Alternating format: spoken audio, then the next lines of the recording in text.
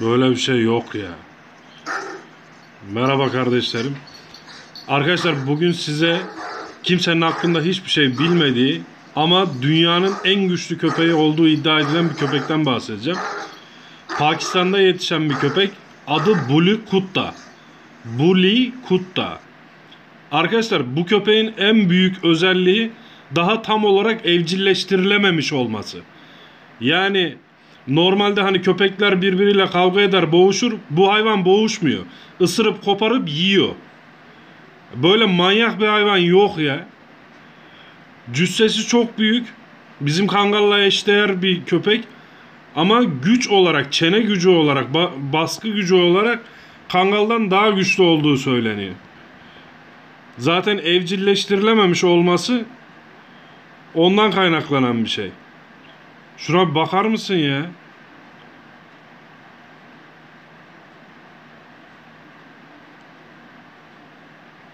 Yani bunlar bizim kangal gibi, çoban kurdu gibi alıp eve bırakıp da ya işte bahçede bekçi olsun.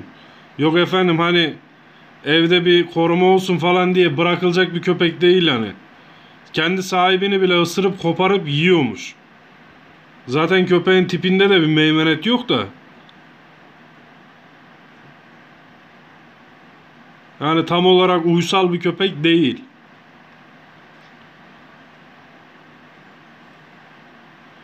Çenesi çok değişik hani ya bulldog'a da benziyor aslında hani çenesi biraz e, mastifleri de andırıyor.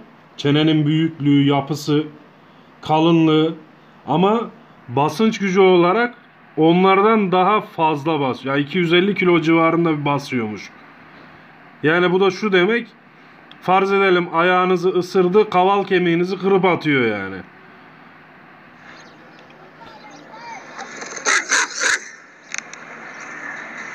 Böyle bir şey yok ya. Yani hayvandaki vahşet duygusunu zaten tipinden hissediyorsunuz. Vücudunda bakın tüyleri genelde kısa. Vücudunun her yeri kas. Yani bu hayvanı zapt etmek gerçekten hani çok zor bir olaydır. Ben de o kadar yıldır köpeklerle uğraşırım. Mesela bu köpeğe daha çok olmadı. 2-3 ay falan oldu yani öğreneli. Böyle bir köpeğin var olduğunu. Pakistan'da bunu genelde düşmanlarının evine falan atıp kaçıyorlarmış yani. Evde kim var kim yoksa ısırıp parçalayıp atıyormuş hayvan. Hayvanın daha vahşi duyguları söndürülememiş. O yüzden çok profesyonel bir eğitmenin eğitmesi gerekiyormuş yani evinizde bakabilmeniz için.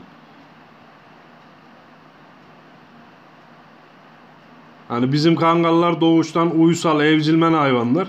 Onlar sadece hani diğer köpeklere, kurda karşı olsun. Hani eve gelen yabancılara karşı olsun. Ya çocuklar yani yabancı çocuk bile olmuş olsa ellemez mesela kangal. Ama bunlarda öyle bir şey yokmuş yani. Bunlar kendilerine yabancı görmeye gerek duymuyorlar yani. Kendi sahiplerine bile böyle baldırını kopardığı falan çok olmuş yani bunlarda.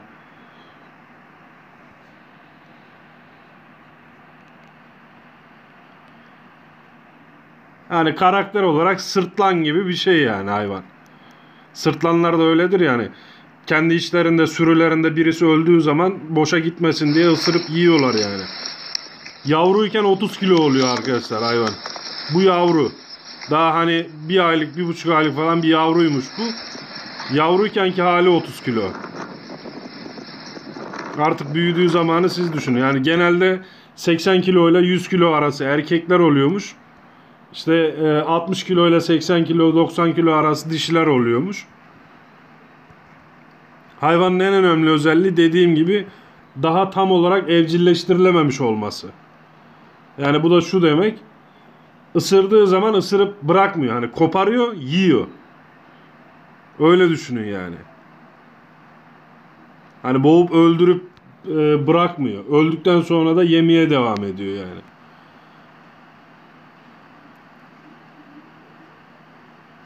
Dışarıdan bakınca hani Mastiff gibi İngilizlerin var ya bir tane İngiliz Mastifi dedikleri. Böyle uyuşuk, yılışık, dev gibi o ama hani hiçbir şeyi yok, faaliyeti yok. Onun gibi görünüyor ama içi seni yakar dışı beni hesabı. Hayvan tam bir vahşi ya.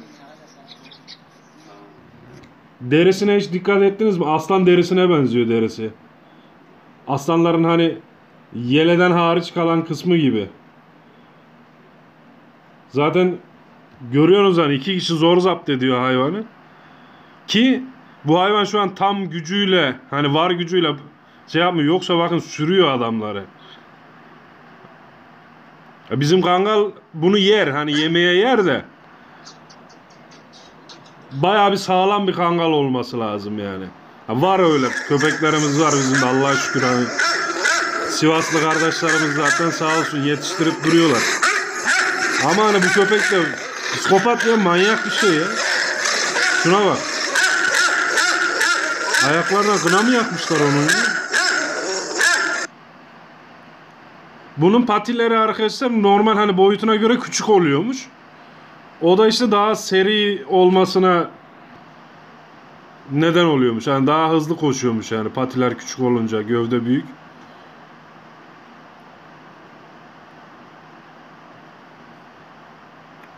Pakistan'ın en meşhur en psikopat köpeği.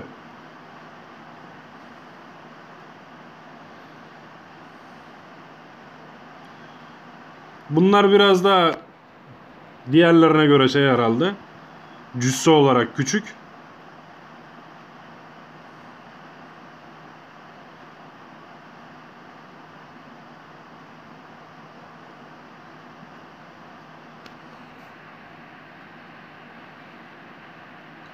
Sanki böyle hani av köpeği kırmasıymış gibi duruyor değil mi? Hani rengi, derisinin şeyi, yapısı.